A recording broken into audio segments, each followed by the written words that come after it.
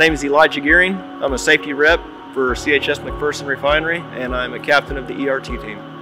What we do here is not only protect our facility and our jobs and, and the company and the environment itself, but we protect our community members by having the proper training, having the right guys out there doing the job to take care and mitigate those situations. And it just it just brings us closer. We interact with each other on that level and just joking around and keeping it lighthearted because what we do is not necessarily always lighthearted.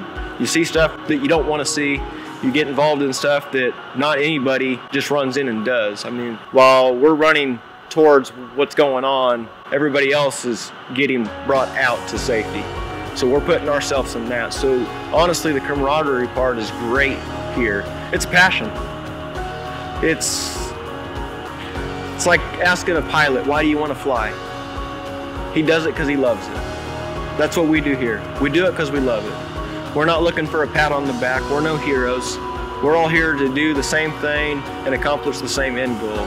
To keep this plant running, to keep ourselves and our and the other employees safe, as well as the community. We all want a job to come back to.